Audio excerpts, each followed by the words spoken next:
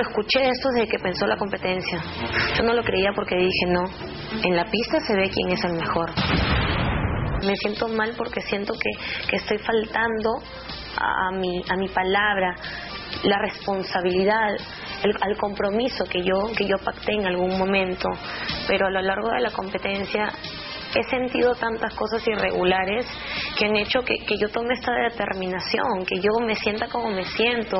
Cada vez que nosotros ganábamos eh, no era tan aplaudido que Michelle y yo ganábamos dentro de la competencia.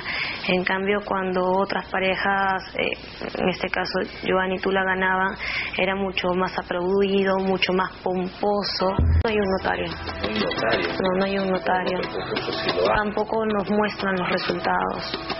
Quizás me pueda estar equivocando, no lo sé, pero es lo que yo siento. Yo iba con mi novia al programa y se le acercaron y dijeron como que lo ha hecho regular, ¿no? Lo ha hecho regular, pese a que ganamos. Yo creo que Michelle no lo hace tan bien. ¿Quiénes le dijeron eso?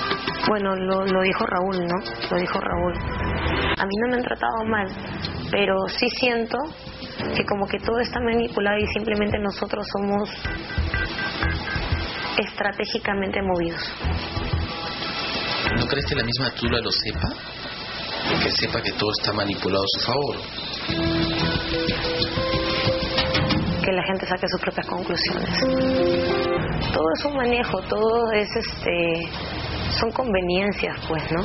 Y el más pequeño simplemente por miedo no no procede o no se queja o simplemente se queda callado para evitar. Pero uno cómo queda? Tiene que agachar la cabeza. No es justo. Para mí no.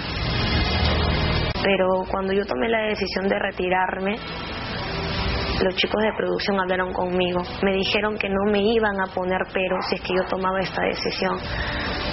Después fue totalmente lo contrario. Si yo renunciaba, me vetarían en a vacilar.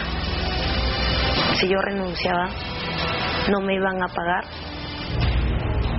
Y detrás de una historia de mentiras, ¿cuál sería el verdadero objetivo final? Si estás en un momento, como tú dices, de querer relanzar tu carrera, estratégicamente es bueno para uno, ¿no? ¿Cuál crees que es el momento de Tula en todo caso? Que la gente saque sus propias conclusiones.